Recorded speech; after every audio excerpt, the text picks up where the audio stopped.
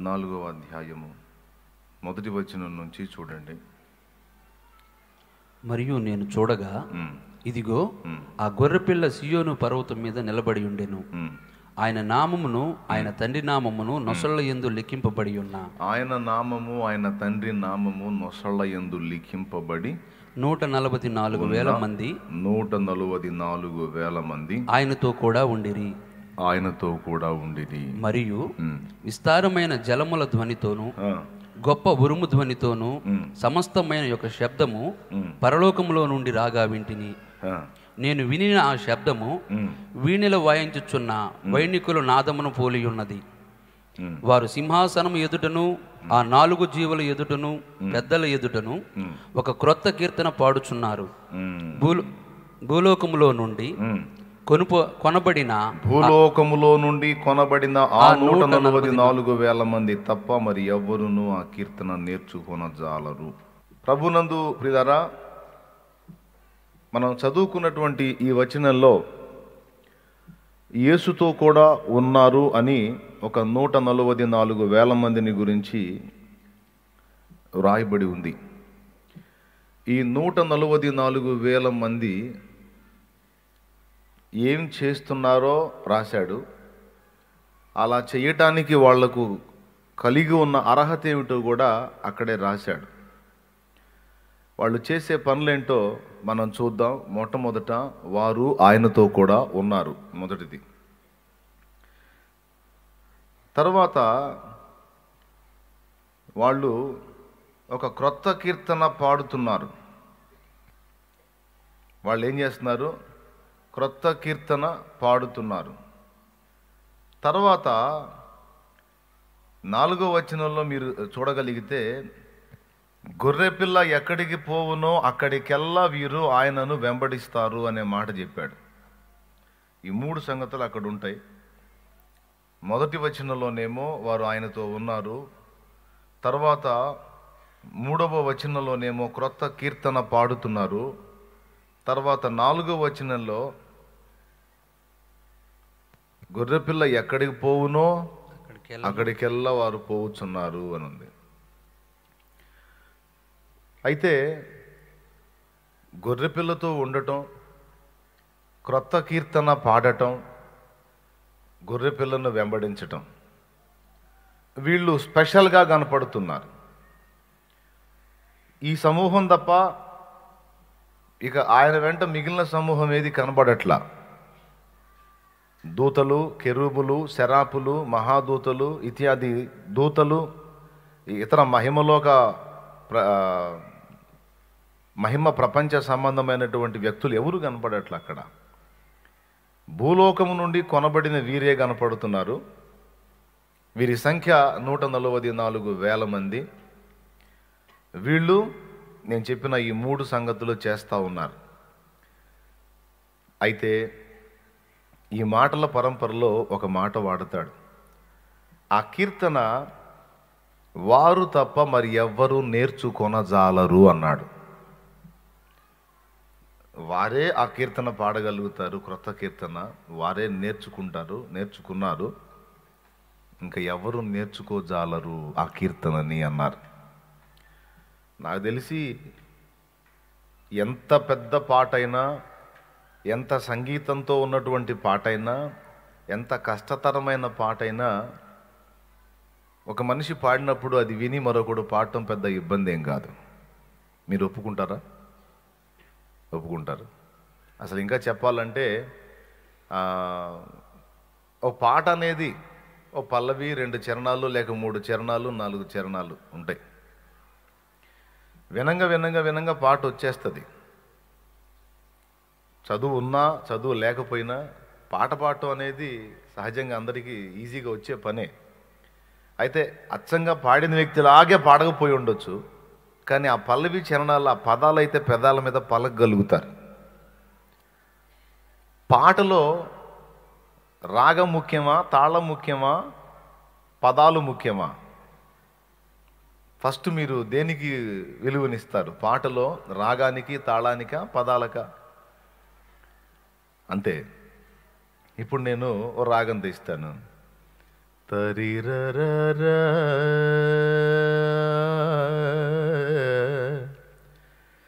తరిరరరా.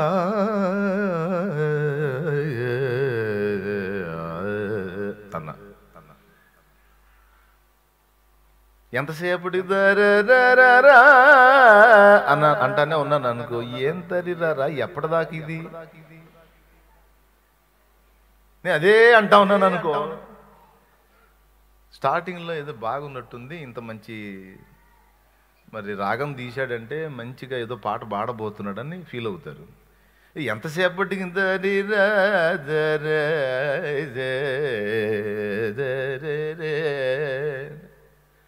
స్టార్టింగ్లో ఇంట్రెస్ట్గా పెట్టిన వాళ్ళు ఒక నిమిషం ఇదే రాగం తీశాను అనుకో. చిన్న కొంచెం డౌట్ వచ్చింది. అని. అట్లా ఇంకొక నిమిషం తీసేది అనుకో. అని రాగంలోనే పనితనం చూపించాం అనుకో. ఇది పాట కాదు. ఏదో రాగం తీస్తున్నాడు. ఓకే ఈ రాగం మీద మనసు పెట్టామంటే మన రోగాల పాలవుతాం ఎందుకు వచ్చిన గొడవ అని సర్దుకుంటారు. అదే రాగం కొంచెం అటు ఇటు అయినా పదాలు వినబడ్డాయి అనుకో ఆ పదాలు చక్కగా ప్రాసతో కూడి క్రమంగా అనిపించినాయి అనుకో పదాలు కూడా విని ప్రశాంతంగా ఉండగలుగుతారు కానీ అచ్చంగా పదాలు లేని ఒట్టి రాగాన్ని ఎంజాయ్ చేయలేరు. అవునా? పదాలు కొంచెం రాగయుక్తంగా పలికినా పలక్కపోయినా మంచిని ప్రకటిస్తుంటే మతం అంటారు మహిమను చేరే దారిని కనుకుంటారు. మంచిని ప్రకటిస్తుంటే మతం అంటారు మహిమను చేరే దారిని కనుకుంటారు. మార్గము తెలియక తికమక పడుతుంటారు మనసు నిలిపి నీ ప్రేమను తెలుసుకోరు. అయ్యో ఈ మనుషులెంత పశుప్రాయులు? నీ ప్రేమ విలువ తెలుసుకొని జ్ఞాన శూన్యులు అంటే కన్నార్పకుండా వింటారు ఈ పదాలు ఏదో భలే ఉన్నాయి రాని కొంచెం రాగం పాడకపోయినా పదం అనేది వస్తూ ఉంటే శ్రవణానందం కలుగుతుంటుంది వినబుద్ధి అవుతుంది. పదాలు లేని ఒట్టి రాగం అంటే కష్టం కదా? కీర్తన అంటే అన్నిటి కలయిక. తాళం రాగం పదాలు భావం అన్నీ. కాబట్టి నాకు తెలిసి కీర్తన నేర్చుకోవడం పెద్ద సమస్య ఏం కాదు. నేర్చుకోవచ్చు. యాజ్ ఇట్ ఈజ్గా పాడకపోయినా కొద్దో గొప్ప కొంచెం అటు ఇటుగా. సహజంగా కొంతమంది ఉంటారు చక్కగా పాడతారు. కొంతమంది పాడలేరు. పాడకపోతే బాత్రూమ్ సింగర్స్ ఉంటారు. బయటోడు ఎవడో వినకపోయినా బాత్రూంలో స్నానం చేసేటప్పుడు డోర్ వేసుకున్నామంటే మన వాయిస్ మనకి లౌడ్ స్పీకర్లో ఉన్నట్టు ఉంటుంది. కొంతమందికి డౌట్ కూడా వచ్చింది ఆగుంతేనా గొంతేనా ఇది? అరే ఎంత బాగుంది? అనిపిస్తుంది. అనిపించి ఇక మనం పాడకుండా ఉండలేం. కొన్నిసార్లు చలికాలంలో చన్నీళ్ళు పోసుకునే పరిస్థితి వచ్చిందనుకో వద్దన్నా వస్తుంటుంది రాగం. సంగతులు కూడా అయ్యి వస్తుంటాయి చలిబుట్టి. అట్ట నీళ్ళు పడ అవునా కదా? దేవునికి స్తోత్రం కలుగును కాక వెనకటి రోజుల్లో ఈ చలికాలంలో పీకల్లో నీళ్ళలో తీసుకెళ్ళి ఆ చలికి ఆ సంగీత సాధన చేయించేవాళ్ళంట. ఈ సంగతుల కోసమే. అంటారా అను అను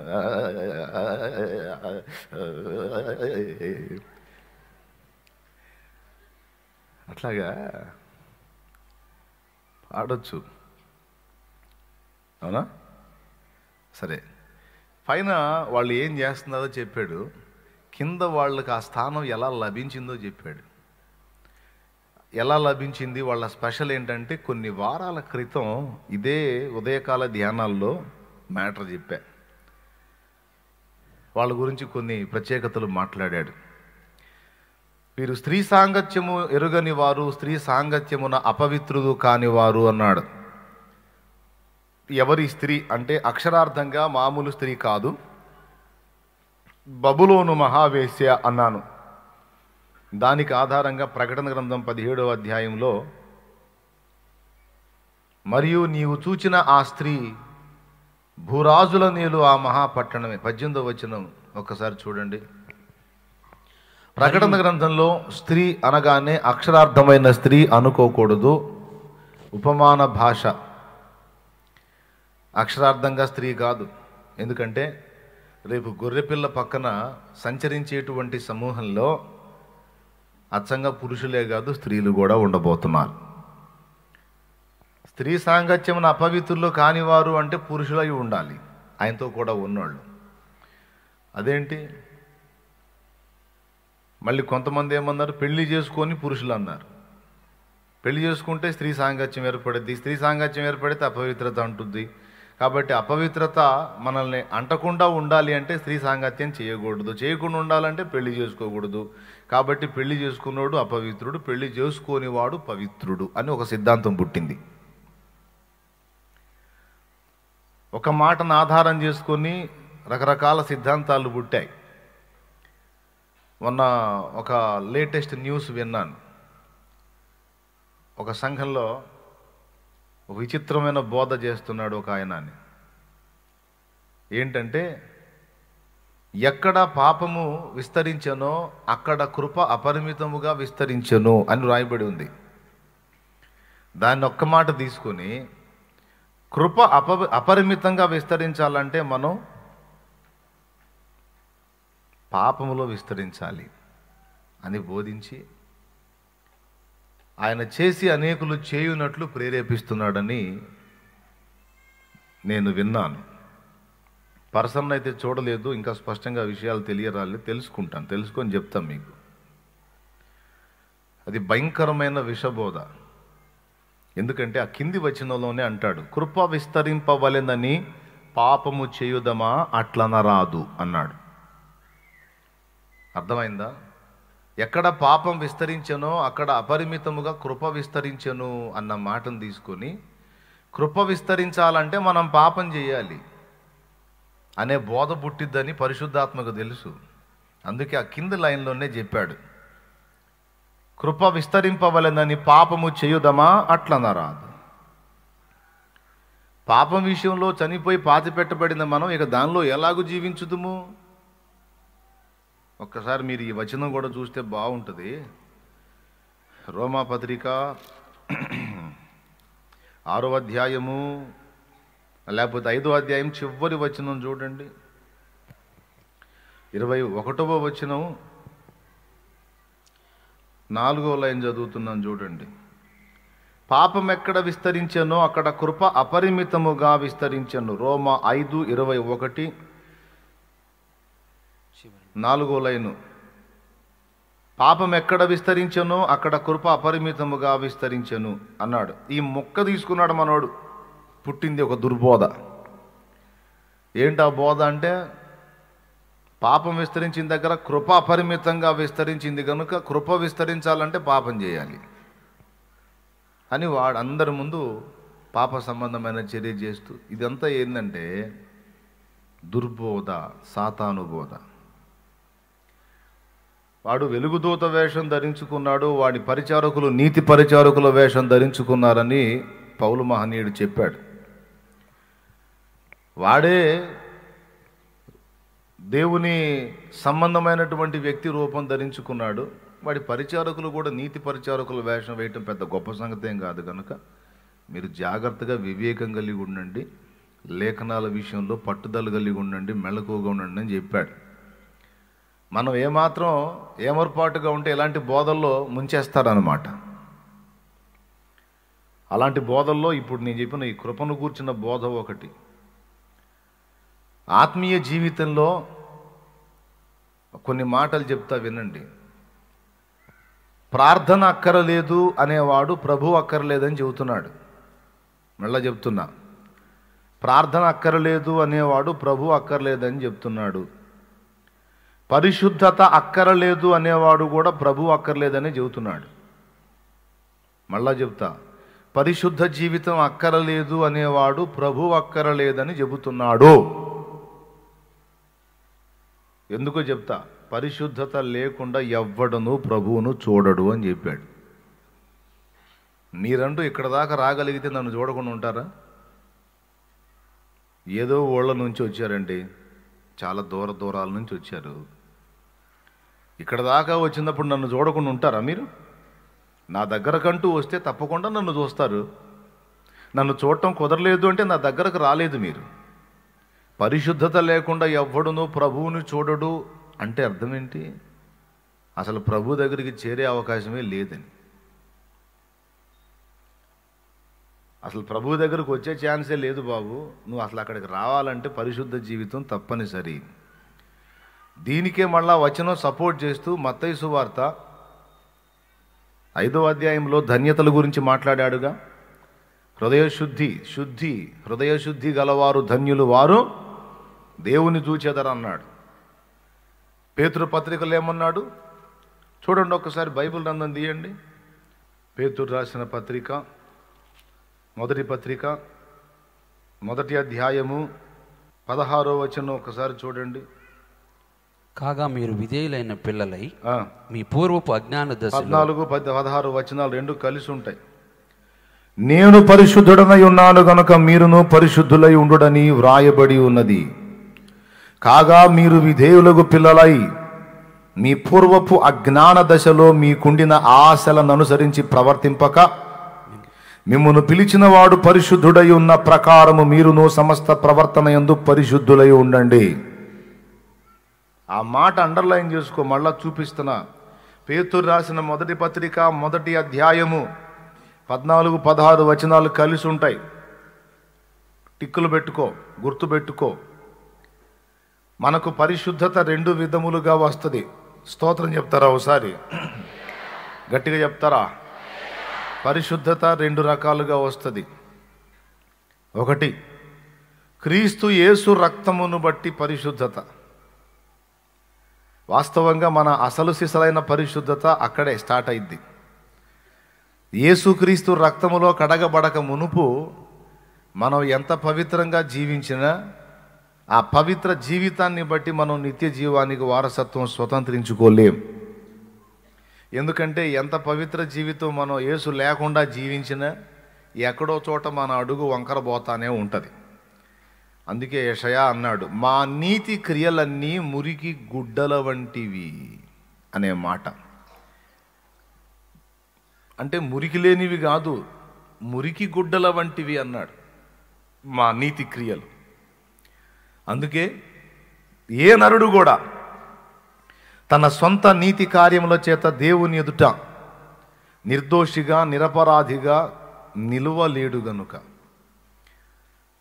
ఏ మనుషునికి అది సంపూర్ణ పరిశుద్ధత కలిగి దేవుని ముందు నిలిచి కేవలం తన క్యారెక్టర్ను బట్టి కేవలం తన నీతి తన పరిశుద్ధత తన అద్భుత ప్రవర్తనను బట్టి దేవుని ముందు మార్కులు పొందలేడు గనుక దేవుడు జాలిపడి కనికరపడి మన పాపములకు ఆయన ప్రియ కుమారుని రక్తము చేత ప్రాయశ్చిత్తం జరిగించి ఆ కుమారుని రక్తమునందు విశ్వాసముంచిన వారందరూ విశ్వాసాన్ని బట్టి పరిశుద్ధులుగా నీతిమంతులుగా తీర్చాడు ఆయన అర్థమైందా? పరిశుద్ధత రెండు రకాలుగా మనకు వస్తుంది అన్నాను మొట్టమొదటిది యేసు రక్తమును బట్టి. ఇప్పుడు మనుషునికి ఏది సాధ్యం కాదో అది దేవుడు ఉచితమైన కృపను బట్టి చేశాడు. ఇది ఎలాంటిదంటే మనకు అర్హత లేదు కానీ మనకు అర్హత లేదు కానీ ఆయన కృపను బట్టి అవకాశం ఇచ్చాడు. వాస్తవంగా ఈ అబ్బాయి ఉద్యోగానికి వచ్చాడు. సర్టిఫికేట్స్ అన్నీ సున్నాలే. పైకిలే జాబ్కి వచ్చాడు. ఆయనకున్న సర్టిఫికేట్స్ అన్నీ పరీక్షిస్తే అన్నీ సున్నాలే. నేను జాబ్ ఇస్తానా పంపిస్తానా? నోరు తెరిచి తొందరగా చెప్పండి. మళ్ళీ సెకండ్ కూటం ఉంది. బా. అన్నీ సున్నాలు అద్భుతమైన సున్నాలు సున్నాల వీరుల్లాగా ఉన్నావు తప్పనిసరిగా నీకు జాబ్ ఇస్తాను ఆయన అంటానా నేను? అనను. ఏంది బాబు? ఇదేంది అసలు? అంటే అదంతే సార్. ఉద్యోగం ఇస్తే ఇవ్వండి లేకపోతే లేదు సార్. అన్నాడు అనుకో మొత్తం చేతిలో పెట్టి ఛార్జీకి నేనే డబ్బులు ఇచ్చి ప్రశాంతంగా వెళ్ళరా నాయన? టిఫిన్ కూడా చేయ అని ఇస్తా. అవునా? అన్ని సున్నాలు వచ్చినా కూడా నేను పిలిచి జాబ్ ఇచ్చాను అనుకో అది ఆయన అర్హత లేకపోతే నా కృప నా ప్రేమ? నా కృప? ఖచ్చితంగా.